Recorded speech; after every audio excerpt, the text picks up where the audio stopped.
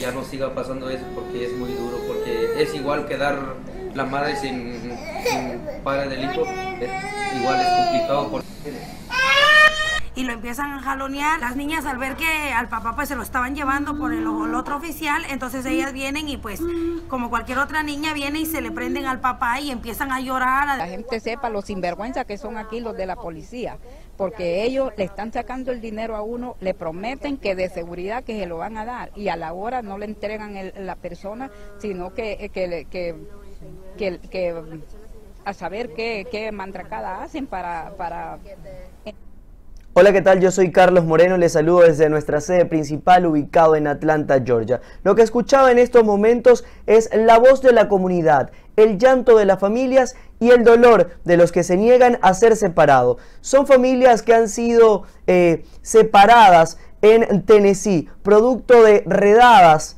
que se llevan a cabo a diario por parte del Servicio de Inmigración y Control de Aduanas ICE en este estado que también se ha visto golpeado duramente por las redadas masivas. En lo que va de año la cantidad de detenciones eh, supera las 400. Para hablar sobre estas cifras y actualizarnos sobre estos datos, vamos a enlazar en este momento con Leticia Álvarez, activista de la zona, quien nos va a explicar ampliamente cuál es la situación que se vive en Tennessee, que ya es catalogado como un estado donde las deportaciones están a la orden del día. Leticia. ¿Qué tal? Buenas tardes. Cuéntame un poquito las cifras que ustedes poseen en este momento. ¿Cuáles son, Leticia? Sí, estamos en un aproximado de 500 personas. Esto es en referencia a las llamadas que recibimos cada día de la comunidad y que atendemos en su momento, pero también a las redadas eh, masivas que se han dado en el área este año. Leticia, eh, durante todo el año Mundo Hispánico ha estado eh, asistiendo a las distintas actividades, protestas que se han realizado en Tennessee para protestar no solo en contra de ICE, sino también de una ley que promulgó el gobernador de este estado que ustedes decían ha convertido a Tennessee en lo que es en una máquina de deportación.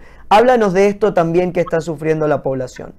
Así es, en enero del 2019 estará entrando en vigor e implementándose la ley HB 2315, la cual hace mandatorio a las agencias locales la colaboración con el Servicio de Inmigración. Así que, bueno, hay una gran preocupación por parte de la comunidad, pero pues, eh, por supuesto, muchas personas han tomado decisiones de moverse del Estado. Estamos convocando a todas estas familias y personas que están con esa incertidumbre a que se acerquen a nosotros y que podamos dialogar de cómo vamos a organizarnos para el próximo año.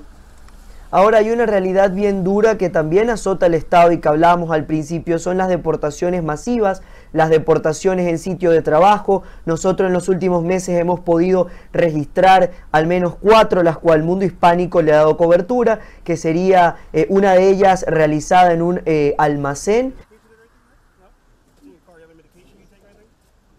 Sí, eh, la redrada que bueno ha, ha, tenido mayor impacto ha sido eh, la redada en lugar de trabajo en esta empacadora de carne eh, en abril, el 5 de abril de este año, la cual pues se cataloga como una de las redadas más grandes en la administración de Trump y que pasó aquí en el estado de Tennessee, en cual fue impactadas 97 personas.